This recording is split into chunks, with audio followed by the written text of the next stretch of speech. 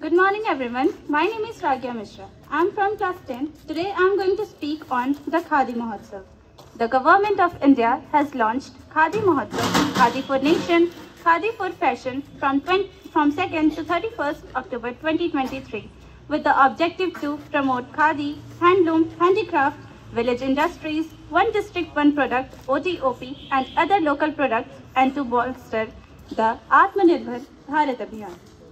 Khadi is hand-spun and hand-woven fabric using a spinning wheel called a charkha.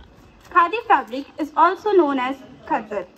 The cloth is usually hand-woven using cotton, silk and wool.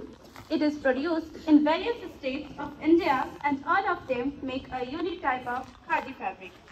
The Khadi movement, a socio-cultural narrative, was launched by Gandhiji from the Satyagraha Ashram in 1915 in the Ahmedabad. Gandhiji promoted the use of Swadeshi products and uh, boycotting foreign goods. Very soon, Khadi became popular as the fabric of nationalism and was said to be woven with the threads of Swaraj. Khadi movement was established for social and economic reasons. Khadi therefore became the national fabric of India and a central icon of India's freedom struggle.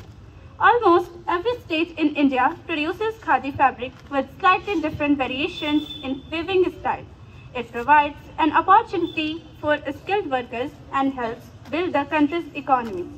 It's high time the world starts looking at khadi fabric more pleasingly and adopting sustainable fashion.